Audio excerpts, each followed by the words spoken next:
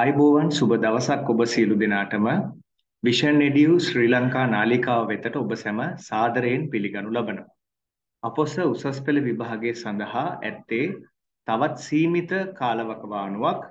ඒ නිසා විෂන් එඩියු ශ්‍රී ලංකා අප කල්පනා කළා ඔබට විශේෂයෙන් උසස් පෙළ සිංහල හදාරන දුවදරුවන්ට වැදගත් වන පාඩම් මාලාවක් ඉදිරිපත් කරන්න.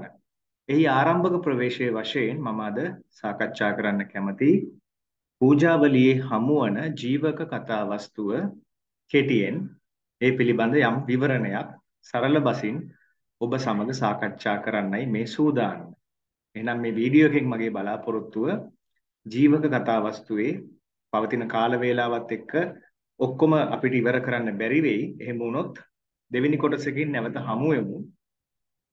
පළවෙනි කොටස යටතේ ප්‍රධාන ඒකක කිහිපයක් නැත්නම් ප්‍රධාන ශේෂ්ත්‍ර කිහිපයක් ජීවක කතා වස්තු යටතේ ආවරණය කිරීමට මම බලාපොරොත්තු වෙනවා. දැන් ගොඩක් ශිෂ්‍ය ශිෂ්‍යාවෝ මේක මේ පාඩම දැනට කරලා ඇති. ජීවක කතා වස්තු අපි පොඩ්ඩක් මේක නැවත මතක් කරගමු. පූජාවලියේ හමුවන බොහොම ප්‍රසිද්ධ කතා වස්තුවක් විදිහට ජීවක කතා වස්තුව අවධාරණය කරන්න පුළුවන්.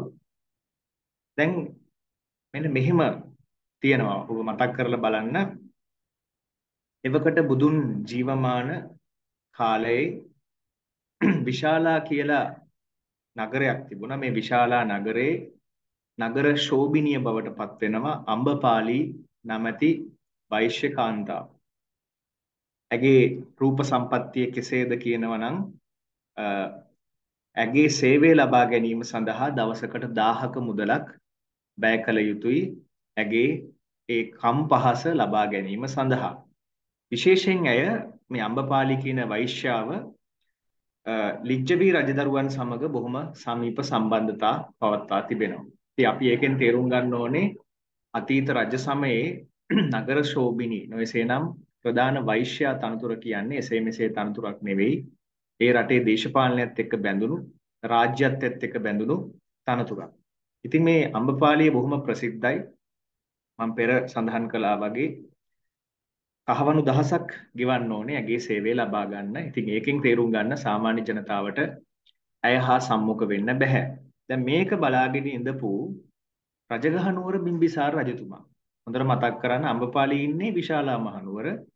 හැබැයි බිම්බිසාර රජතුමා ඉන්නේ රජගහ නුවර. රජගහ නුවර ඉන්න බිම්බිසාර රජතුමා කල්පනා කරනවා අම්බපාලියේ ඉන්නවා නම් විශාලා මහනුවර අම්බපාලිය නිසා විශාලා මහනුවර ප්‍රසිද්ධ වෙනවා නම් ඇයි රජගහ නුවරට මෙවැනි වෛශ්‍යාවක් මෙවැනි කාන්තාවක් අවශ්‍ය නැත්තේ. ඒ නිසා රජුරෝ තීරණය කරනවා රජගහ නුවරත් යම්කිසි ආකාරයක වෛශ්‍ය ස්ත්‍රියක් ස්ථාපිත කරන්න, ඇගේ සේවය ස්ථාපිත කරන්න. ඒ නිසා සාලවතී කියන බොහොම සුරූපිමත් කාන්තාවක් රජගහ නුවර වෛශ්‍ය වෘත්තියෙහි නැත්නම් ඒ තනතුරෙහි බිම්බිසාර රජුරෝ නියුක්ත කරනවා. එතකොට රජා තමයි ඒ තනතුර පිරිනමන්නේ. අවශ්‍ය සේවය, පරිභෝග වස්තුන්, ධන දාන්‍ය මේ සියල්ලම ඇයට ලබා දෙනවා. ඒ වගේම මසුරන් ලක්ෂ දෙකක් ඒ වෛශ්‍ය ස්ත්‍රියකට ඔබින පිරිමින් ආකර්ෂණය කර ගැනීමට අවශ්‍ය රත්තරන්, පළඳනා, උයන් පොකුණු වගේ මේ සියලුම සම්පත් රජය විසින් ලබා දෙනවා. මෙහි තියෙන විශේෂත්වය තමයි ඇයට තට්ටු 7කින් යුතු මාලිගයක් ලබා දෙනවා. ඒ වගේම ඇගේ සේවය ලබා ගැනීම සඳහා දෙදහසක පිරිවැයක් දැරිය යුතුයි. දැන් අඹපාලී වෙත යන්න දහසයි. නමුත් සාලවතිය වෙත යන්න රුපියල් 2000ක් ගෙවන්න ඕනේ. එතකොට එතකොට ඔබ ඒකින්ම තේරුම් ගන්න බිම්බිසාර රජුරවන්ට ඕන උනේ යම්කිසි ආකාරයකින් අඹපාලියට නොදෙවෙනි තරඟයක් රජගහ නුවර ඇති කරන්න. එතකොට මතක තියාගන්න අඹපාලිය ප්‍රධාන වෛශ්‍යාවිය බවට පත් වෙන විශාලා මහනුවර ඒ වගේම රජගහ නුවර ප්‍රධාන වෛශ්‍යාවිය බවට පත් වෙනවා අපි කතා කරපු සාලවතී කියන රූමතිය. දැන් කාලයගේ ඇවෑමෙන් මේ සාලවතිය කියන රූමතිය නැත්නම් වෛශ්‍ය ස්ත්‍රිය වෙතට පැමිණෙනවා බිම්බිසාර රජුරුවන්ගේ පුතෙක් වෙච්ච අබේ රාජ කුමාරය. ඒතකොට අපිට ඒකෙන් තේරුම් ගන්න පුළුවන් මොකද්ද? ඒ කාලේ රජවරු ගත කරලා තියෙන බොහොම සුකෝපභෝගී ජීවිතය. ඒ කාලේ විතරක් නෙවෙයි අදටත් රජවරු මැති ඇමතිවරු ගත කරන සුකෝපභෝගී ජීවිතය මීට හාත්පසින්ම සමානයි. ඉතින් ඒ කාලෙත් එලෙසමයි. ඉතින් මේ අබේරාජ කුමාරයා එනවා සාලවතිය මුණ ගැහෙන්න ඇගේ සේවය පතාගෙන කෙසේ හෝ වේවා අබේරාජ කුමාරයා නිසා සාලවතී මේ වෛශ්‍ය කාන්තාවට දරුවෙකු පිළිසිඳ ගන්නවා. දැන් අපි දන්නවා වෛශ්‍ය කාන්තාවකට දරුවෙක් පිළිසිඳ ගත්තම ඇයට අන් ස්ත්‍රියක් වගේ නේද? ඒ දරුවාව පෝෂණය කිරීමට අවකාශය ලැබෙන්නේ නැහැ. මොකද එහෙම කළොත් ඇයට ඇගේ වෛශ්‍ය වෘත්තිය රජු විසින් නියම කර ඇති වෛශ්‍ය වෘත්තිය අකණ්ඩව පවත්වාගෙන යන්න ඉඩ කඩ ලැබෙන්නේ නැහැ. ඉතින් දැන් සාලවතිය කල්පනා කරනවා ඇය දැන් ගැබිනියක් බවට පත් වෙලා ඉන්නවා. දරු ගැබක් ඇගේ කුසෙහි තියෙනවා. මේ දරු ගැබ ඇති උනේ අබේරාජ කුමාරයා නොයසේ නම් බිම්බිසාර රජුරුවන්ගේ පුතා නිසා දැන් ඇය කල්පනා කරනවා මොකද්ද මම මේකට කරන්නේ දරුවෙක් ඉපදිලා ඉපදෙන්න ඉන්නවා කියලා දැනගත්තම ඇය වෙතට එන සේවකයෝ ඇගේ සේවය අපේක්ෂාවෙන් එන ජනතාව අඩු වෙනවා. ඒකනේ සාමාන්‍යයෙන් වෙන්න පුළුවන් දේ. ඒ නිසා ඇය ජනයා අතර ප්‍රසිද්ධ කරනවා අවුරුද්දක් යනකම් සාලවතියගේ සේවය ලබා ගන්න බැහැ. ඒ වගේම ඇය අසනීපයකින් පසු වෙනවා. ඒ නිසා සැලකිය යුතු කාල සීමාවක් ගන්නවා මිනිසුන්ගෙන් මේක වසන් කිරීම සඳහා. ඒ කාල සීමාව ඇතුළත ඇය අර තමාගේ කුසේ ඉන්න දරුවා දරුවාට උපත ලබා දෙනවා. මේකේ විශේෂ කරුණක් කියන්න ඕනේ දැන් පිරිමි ළමෙක් වෛශ්‍ය ස්ත්‍රියකට ඉපදුනොත් පිරිමි දරුවෙකු ඒ පිරිමි දරුවාව ගිහිල්ලා කැලේට අතාරිනවා. හැබැයි ගැහැණු දරුවෙක් ඉපදුනොත් ඇයව පෝෂණය කරනවා. ඒකේ බලාපොරොත්තුව තමයි මතු අනාගතයේදී ඒ ගැහැණු දරුවාව නැවතත් වෛශ්‍ය වෘත්තියට අදාළ කරවීම සඳහා. ඉතින් මොකද උනේ? දැන් ඉපදුනේ පිරිමි දරුවෙක්නේ. පිරිමි දරුවෙක් ඉපදුණු නිසා කාටත් අඟවන්නේ නැතුව අවුරුද්දක විතර කාලයක් නිවාඩුවකුත් ගත්තනේ සාලවතී ගණිකාවිය නැත්තම් වෛශ්‍ය ස්ත්‍රිය. ඇය අර ඉපදිච්ච දරුවාව සේවකයන්ට බාර දෙනවා ගිහිල්ලා කුණු ගොඩට විසි කරන්න කියලා. ඒ නිසා ඇය කාටත් හැඟෙව්වේ නැහැ. Taman ගැබිනියක් බවට පත් වුණා. Tamanගේ කුසෙහි දරුවෙකු පිළිසිඳ ගත්ත කියලා කාටත් හැඟෙව්වේ නැහැ. කොටින්ම Taman ඉන්න භවන භවනට සුවඳ කුඩු ඉහලා නේද? කිසිම මේක මේ ගැබිනියක් විසූ වාසස්ථානයක් කියන අර්ථය සමාජයට ලබා දුන්නේ නැහැ. පරණ කුල්ලක පරණ රෙදි කෑල්ල පොතර අර අර කුසෙහි පිළිසිඳගත් දරුවාව සේවකයන්ට දෙනවා ගිහිල්ලා මෙන්න මේ මේ මේ දරුවාව කුණු ගොඩට කසල ගොඩට දාන්න කියලා දෙනවා. දාලා ආයි සුපුරුදු පරිදි සාලවතිය තමාගේ වෛශ්‍ය වෘත්තියේ නියැලෙනවා. ඉතින් ඔන්න ඔය වෙලාවේ අබේරාජ කුමාරයා නගරේ ක්‍රීඩා කරමින් යන අසර අතරවාරේ එයා මේ අසල ගොඩ අසල මස් වැදෙල්ලක් දකිනවා. මස් කැබැල්ලක් දකිනවා එයා. එයා බලනවා මේ මස් වැදෙල්ලට කපුට කොටන්න උත්සාහ කරනවා. හැබැයි කපුටන්ට කොටා ගන්න බෑ. කපුට උත්සාහ කරනවා. හැබැයි මොකක් හරි ආනුභාවයකින් මේ කපුටන්ට මස් වැදෙල්ලට කොටන්න හම්බෙන්නේ නැහැ. ඉතින් අබේරාජ කුමාරයා ලං වෙලා බලනකොට අබේරාජ කුමාරයාට පේනවා මස් වැදෙල්ලක් නෙමෙයි ඒ දරුවෙක්, බිලින්දෙක්. නේද?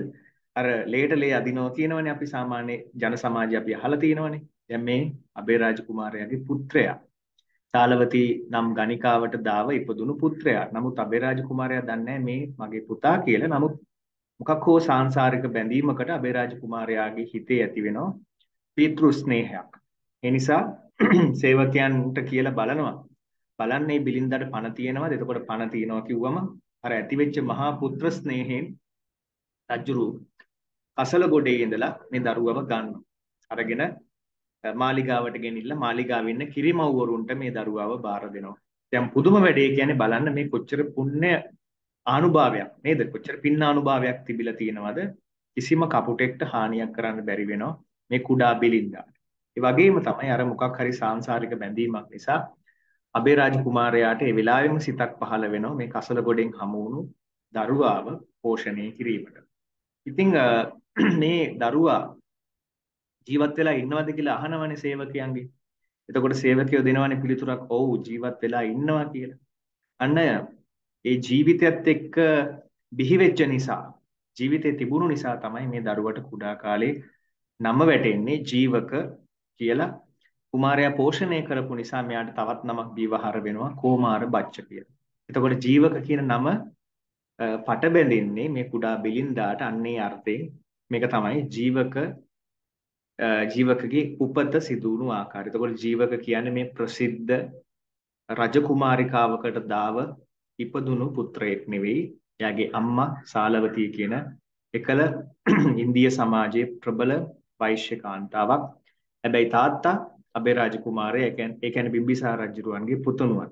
මං හිතනවා දුවදරුවන්ට මේ කාරණාව මතක් වෙන්න ඇති කියලා. හැබැයි දැන් කාලයගේ ඇවෑමෙන් මොකද වෙන්නේ? දැන් ජීවක කුඩා බිලින්දෙක් පස්සේ පුංචි දරුවෙක් වෙනවා නේද? තමන්ගේ සමවයස් කණ්ඩායම් එක සෙල්ලම් කරනකොට ඒ සෙල්ලම් කරන්න එන සෙසු යහළු මිත්‍රාදීන් අපහාස කරනවා අම්මා නැති කෙනා නැත්නම් අම්මා ගැන විමසමින් ජීවක කුඩා මේ දරුවාව වෙහෙසටපත් කරනවා. ඉතින් මේ වෙහෙස දරා ගන්න බැරිව මේ අපහාස උපහාස දරා ගන්න බැරිව ජීවක ගිහිල්ලා අබේ රාජකුමාරයා වෙච්ච තාත්තගෙන් අහනවා මගේ අම්මා කවුද? නේද? මගේ උපත කොයි වගේද සිදු වුනේ කියලා මෙයා ප්‍රශ්න කරනවා. එතකොට අබේ රාජකුමාරයා කියනවා මම අම්මා නම් දන්නේ නැහැ. ඇත්ත හෙලි කරනවා. ඔයා මෙහෙම වැටිලා හිටිය කුණු ගොඩක ඇලෑවට දාලා තිනවා මම දැක්කා. ඒ වෙලාවේ තමයි මගේ හිතේ ඇති වෙච්ච යම්කිසි පුත්‍ර ස්නේහයකින් මම ඔයාව වඩාගත්තේ. ඒ හැරුණකොට මම ඔයාගේ අම්මා කවුද කියන එක මම දන්නේ නැහැ. කියලා අබේරාජ කුමාරයා ඒක පැහැදිලි කරනවා. ඒ වෙලාවේ ජීවකට යම්කිසි ආකාරයක මානසික කඩාවැටීමක් ඇති වෙනවා. එයා තේරුම් ගන්නවා මට මේ ලෝකේ කවුරුත් නැහැ. මට නෑදෑයෙක් නැහැ. මට මගේ කියලා පවුලක් නැහැ. මට પરම්පරා ධනයක් නැහැ. නේද? ඒ නිසා මම්ම මං ගැන බලන්න ඕනේ. තමන් හිසට තමා තමයි සෙවණැල්ල කියනවනේ. ඒ නිසා එයා කල්පනා කරනවා මම මොකක් හරි දෙයක් ඉගෙන ගන්න ඕනේ. ශිල්පයක් ඉගෙන ගන්න ඕනේ. මොන හරි දෙයක් හදාරන්න ඕනේ. අධ්‍යයනය කරන්න ඕනේ කියලා හොයනකොට එවකට ඉන්දියාවේ තිබිලා තියෙනවා ශාස්ත්‍ර 18ක් ඒ වගේම ශිල්ප 64ක් නැටුම් සංගීතයේ වගේ ශිල්ප 64ක් ඒ වගේම ශාස්ත්‍ර 18ක් ඉතින් මේ දැන් අපි A level subjects තෝරනවා වගේ තමයි. නේද? අපි A level වලදී subjects බලන්නේ bio වලින් කරනවද maths වලින් කරනවද? ඒ වගේ ඒ කාලේ 18ක් ශාස්ත්‍ර ශිල්ප 64ක් එතනින් ජීවක මේ තරුණයා නැත්නම් මේ කුඩා දරුවා නේද? මෙයා කල්පනා කරනවා නෑ මම තෝරගන්න ඕනේ අනිත් අයව සතුටටපත් කරන. අම්මා තාත්තා දැක්කා වගේ සතුටක් ඇතිවන. තමගේ ළඟ හිතවතෙක් දැක්කා වගේ සතුටක් ඇති කරවන වෘත්තියක් මම තෝරගන්න ඕනේ. යම්කිසි ආකාරයකින් පීඩනයක් ගෙන දුන්නත් නමුත් අම්මා තාත්තා යාළු මිත්‍ර ආදියෙක් නෑදෑයෙක් දැක්කා වගේ අප්‍රමාණ සන්තෝෂයක් ඇති කරන වෘත්තියක් මම තෝරගන්න ඕනේ. එනිසා එයා තෝරගන්නවා වෙදකම වෛද්‍ය වෘත්තිය. මොකද වෛද්‍ය වෘත්තියත් එහෙමයි. අම්මා තාත්තා දැක්ක වගේ සන්තෝෂයක් ඇති වෙනවා වෛද්‍යවරයා කෙරෙහි. ඔහුගේ ශිල්පය කෙරෙහි ඔහු දක්වන කරුණාවන්තභාවය කෙරෙහි. ඒ නිසා මේ ජීවක තෝරගන්නේ වෛද්‍ය වෘත්තිය. ඔහු නොපමාව තක්සලා නුවරට යනවා දිසාපාමොක් ආචාර්යවරයා මුණ ගැහෙන්න.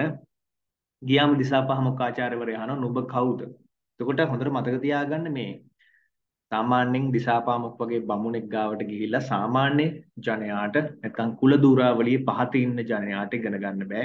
ඒ දරුවන්ට ඉගෙන ගන්න බෑ. දිසාපාමොක් වගේ බමුණන් ශිල්ප ශාස්ත්‍ර ලබා දීලා තියෙන්නේ ඉහළ කුල සමාජය නියෝජනය කරන දරුවන්ට. විශේෂයෙන් රජපෞල් වල දුවා දරුවන්ට. ඉතින් ඒ නිසා කෙලින්ම ප්‍රශ්න කරනවා. මේ දිසාපාමොක් ඔයා කවුද? ඒවා මගේ පාසලට ආවේ. එතකොට ජීවකත් කල්පනා කරනවා මම දැන් බොරු කිව්වොත් මට ගුරුතුමා ආදරෙන් උගන්වන එකක් නැහැ. ඒ නිසා ජීවක මොකද කරන්නේ? තමන්ගේ බල සම්බන්ධතාවය හෙලි කරනවා. මම අබේරාජ කුමාරයාගේ පුත්‍රයා මගේ තාත්තා අබේරාජ මගේ සීයා තමයි බිම්බිසාර රජුරු කියලා කියන. එතකොට මොනවයි ඉගෙන ගන්නද ආවේ? මං ආවේ වෙදකම ඉගෙන ගන්න, වෛද්‍ය වෘත්ති ඉගෙන ගන්න කියලා පැහැදිලි කරනවා. එතකොට ගුරුවරයා අහනවා ගුරු පඳුරු ගෙනාවද? අද වගේම තමයිනේ පන්තියකට යන්න කලින් ෆීස් අහනවා වගේ ගුරු පඳුරු ගෙනාවද කියලා අහනවා. එතකොට මොකද්ද ජීවක දෙන උත්තරය? මම ශිල්පයට තියෙන ආශාව නිසාම ගුරු පඳුරු ගේන්න බැරි වුණා. ඒතරම් මම ශිල්පයට ආසයි. ඒ නිසා මම අන්තේවාසිකෙක් විදිහට ඉගෙන ගන්න කැමතියි. අන්තේවාසිකයෙක් කියලා අදහස් කරන්නේ ගුරුවරයාගේ නිවසේ නැවතී සිටීමෙන් ඔහුට බැල මෙහෙ කර බැල මෙහෙවර ඉටු කරමින් නේද? ඔහුගේ ඕනෑපාකම් ඉටු කරමින් ගුරුවරයාගේ සමීපේ හැදී වැඩිමින් අධ්‍යාපනයේ හැදෑරීම තමයි අන්තේවාසික කියලා කියන්නේ. ඉතින් ගුරුවරයා කල්පනා කරනවා මොහු පින්වත් පුරුෂයෙක් වැඩි ප්‍රමාදයකින් තොරව හොඳ නැකතක් බලලා මේ ජීවකට උගන්වන්න දිසාපාමොක් තීරණය කරනවා. ඉතින් දුවේ පුතේ මේ පළවෙනි කොටස තව බොහෝ කොටස් යන්න තියෙනවා. අපි ඉදිරි කොටසුත් මේ වගේම කෙටියෙන් මතක් කරගමු සරලව. එතකොට ඔබට ඒක පහසුවක් වේවි. ඒ වගේම මේකේ ਵਿਚාරත් අපි සාකච්ඡා කරමු. ඒ නිසා රැඳී සිටින්න කියලා ආරාධනා කරනවා Vision Edu ශ්‍රී ලංකා සමගින්. අපි මෙවැනිම තවත් දිනයකින් හමු වෙමු. ජීව කතා වස්තුවේ ඉතිරි කොටස් සාකච්ඡා කිරීම සඳහා ඔබට ජය වේවා.